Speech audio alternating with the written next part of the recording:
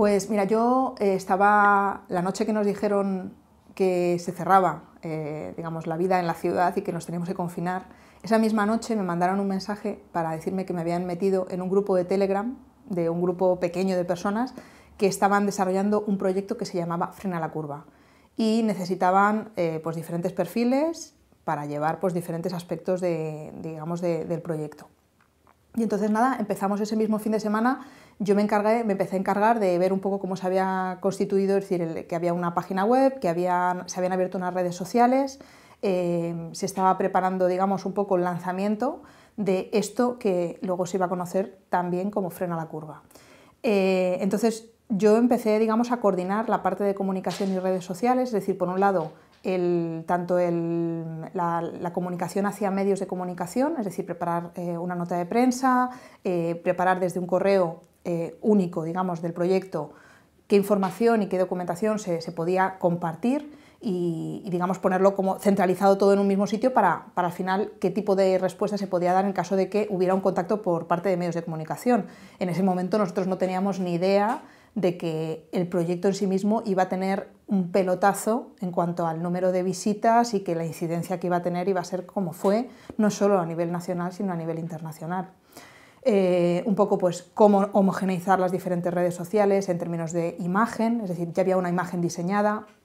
cómo incorporar esas imágenes, cómo empezar a diseñar la publicación sobre lo que se iba haciendo en, este, primer,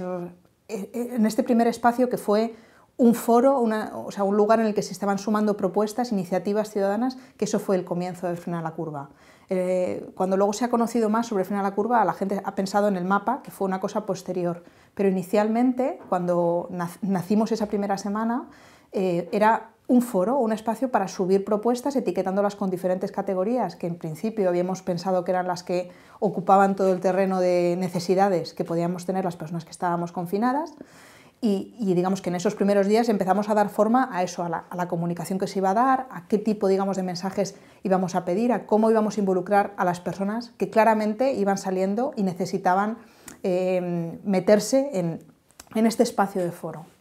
Pues mira, curiosamente íbamos tan resolviendo el día a día de gestión, es decir, de gente que nos contactaba, información que había que compartir, eh, preparar notas de prensa, empezar a mm, difundir en redes sociales lo que se estaba haciendo, cómo participar, cómo colaborar, que aunque no hubo un diseño previo como tal de una estrategia, es decir, yo no tuve, la, no tuve el tiempo realmente como para pensar cómo diseñamos la estrategia de freno a la curva, lo cierto es que con el paso de las semanas y como fue evolucionando, yo misma me, fui dando cuenta de que habíamos, habíamos diseñado de una forma, mm, en el día a día, por decir así, una estrategia de comunicación muy integradora, muy de vamos a comunicar y vamos a acercarnos a la gente y vamos a compartir lo que estamos haciendo y ayudar a que personas se puedan sumar de una forma, pues eh, yo creo que muy acertada en términos no marcados de comunicación, no era ni institucional ni era activista, no era, es decir, yo creo que buscamos eh, la forma de transmitirlo con un lenguaje muy cercano, muy de cualquiera puede entrar aquí, desde gente que eh, no nos conoce de nada a gente que, que ha estado manejándose siempre en espacios, pues a lo mejor mucho más alternativos yo creo que eh, es como que generamos un, espacio de comunicación mm, que podía ser integrado por cualquiera. Y eso yo creo que, fue un arma poderosa y que muchas personas se sintieron apeladas y sintieron que querían formar parte de eso que se estaba construyendo. Yo creo que por un lado había una grandísima necesidad por parte de cualquiera de, eh, querer ver mm, cómo, cómo hacer algo para, digamos, para, ayudar a otras personas en un, en un momento tan tan en shock como estábamos, necesitábamos como elementos que nos dieran esperanza de colaborar con otras personas y sentirnos como parte de una comunidad. Había gente que, a lo mejor jamás hubiera pedido ayuda a entornos activistas, eh, pues por, por, miedo, por inseguridad, por desconocimiento, y que de repente lo que estábamos creando en este espacio, tanto de iniciativas que tú podías utilizar sin tener que hablar con nadie, iniciativas que estábamos documentando, organizando, listando, y luego en el mapa mm, organizándolas de una manera, pues eso, eh, geográfica. Mm, tú podías buscar información, buscar ayuda y, podrías, podías, también ofrecerte, ¿no? Ofrecer eh, o ayuda específica o ofrecerte tú para ayudar a otras personas, ¿no? Entonces, yo creo que llegamos a abarcar un espectro de la población muy, muy diverso, muy transversal. Y eso, eh, esa, esa, forma, digamos, de acercarnos a la gente, creo que tuvo que ver, bueno, en parte obviamente porque yo creo que todo fue en correlación, es decir, tanto la gente que estaba creando el mapa como al principio el foro, eh, todas las personas que formábamos parte eh, de toda esa estructura, estábamos todas muy necesitadas de sentirnos parte de algo que no hubiera, que no nos marcara, que no nos marcara una agenda o una, o una perspectiva. Y yo creo que desde la comunicación conseguimos transmitir eso y, digamos, e incorporar a todo aquel que, sentía la necesidad de participar de, de Frena la Curva. Pues cuando, claro, cuando la primera semana nace Frena la Curva y de repente eh, estábamos listando todas esas iniciativas en ese foro que estábamos creando, eh, de iniciativas de todo tipo para todas las necesidades, es decir, de qué podíamos hacer eh, eh, la, gente que estábamos teletrabajando, qué podía hacer la gente que tenía niños en casa, qué herramientas desde lo lúdico a lo laboral podíamos utilizar de forma online. Es decir, se estaba creando un corpus de conocimiento de forma colaborativa, todo el mundo podía entrar y podía aportar ideas. Había, digamos, mm, digamos, la idea de que esto iba a ser útil para, pensábamos que para un grupo de gente, no pensábamos que iba a pegar el salto que dio a los medios de comunicación. además ocurrió una cosa, eh, otro tipo de organizaciones y de empresas nos contactaron para intentar colaborar. Y de repente tuvimos un vídeo que nadie había pedido, es decir, nadie había ido buscando un vídeo y de repente se hizo un vídeo, un vídeo cortísimo, pero que ayudaba, por ejemplo, a comunicar de una forma muy clara cómo colaborar, por ejemplo, con el mapa, con entrar en el mapa y, qué tipo de cosas se podían hacer en ese mapa que estábamos geolocalizando iniciativas y ayudas y solicitudes de ayuda.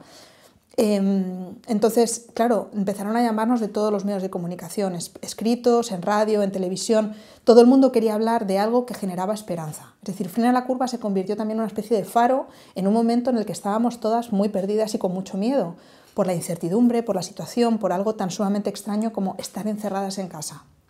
Saber que de repente los medios de comunicación buscaban aquellas herramientas que se estaban utilizando por parte de la ciudadanía para ayudarse mutuamente. ¿no? Y creo que eso daba, por un lado, a los medios de comunicación les daba un, gancho informativo interesante, ¿no? era, era muy, muy apetecible hablar de algo positivo estando viviendo un momento tan caótico y tan, eh, tan terrible en términos de pérdidas humanas, por ejemplo. Y claro, de repente eh, otros medios querían hacerse eco y querían saber más de cómo había surgido la idea, cómo es que tantas personas estaban colaborando, cómo todo el mundo se sentía parte y partícipe de esto que se llamaba frena la curva. Entonces, claro, hubo semanas que yo, bueno, no sé, respondía a medios, ya no solamente yo, yo no podía hacerlo sola, tenía que ir pasándole a diferentes personas del, equipo, digamos, para que respondiéramos eso, respuestas de prensa escrita, eh, entrevistas en televisión y en radio, por supuesto todo por teléfono o por WhatsApps o por correos electrónicos, preparar notas de prensa para que todo el mundo tuviera la información en tiempo real, cuántas visitas iban generando en el mapa, cuánta gente había ido metiendo iniciativas ciudadanas, todas esas cifras de crecimiento que fueron loquísimas y que mm, nadie esperaba que iba a ser tan sumamente grande el impacto y fue pues eso, una curva que digamos era para frenar una pero se creó otra. Una de las cosas interesantes de la parte de comunicación es que eh, yo creo que se consiguió llegar mucho más lejos de lo que se pretendía.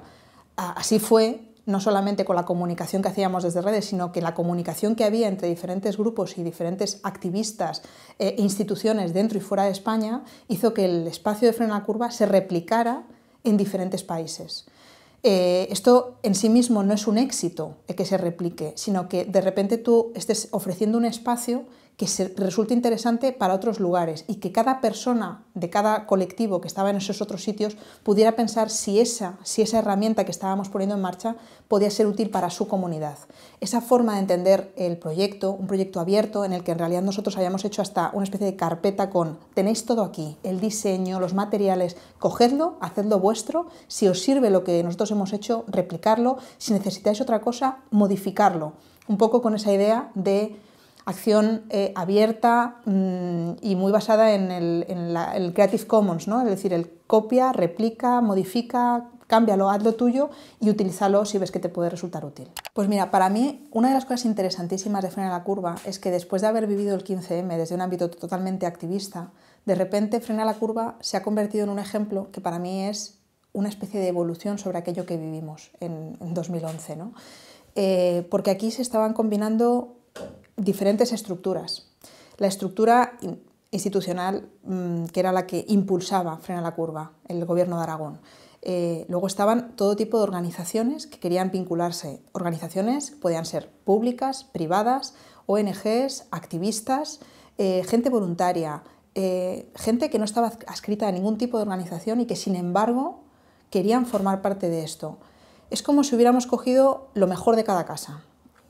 Empresas que se querían vincular, que querían ver de qué manera poder ayudar. O sea, la parte bonita, la parte esperanzadora era que de repente en un momento que era crítico y que socialmente estábamos eh, sin saber realmente qué iba a pasar el día, al día siguiente,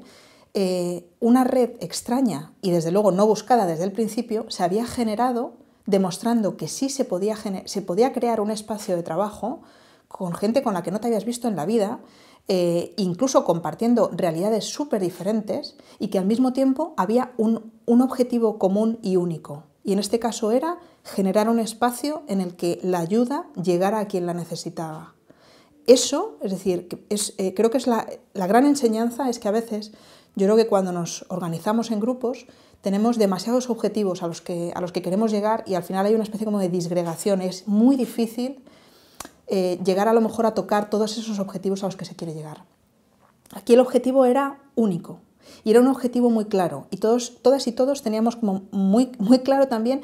cómo debíamos llegar ahí y de qué manera nos podíamos ayudar y qué podía aportar cada una.